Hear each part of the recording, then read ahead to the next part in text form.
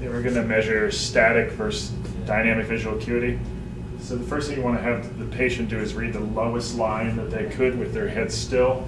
And so, let's say when we did this test, we were here, and on this chart, that's 20/20. You have to have the patient back the appropriate distance based on your chart. So for this chart, it's 13 feet.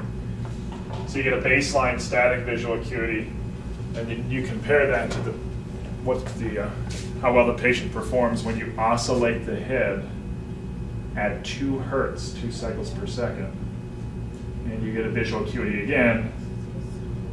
So after oscillating the patient's head for two hertz, during that, the patient tells you what line they can read. And so you compare their static visual acuity to where they are uh, while you're oscillating the head, and you measure the difference. Uh, Two lines or less, or less than two lines is considered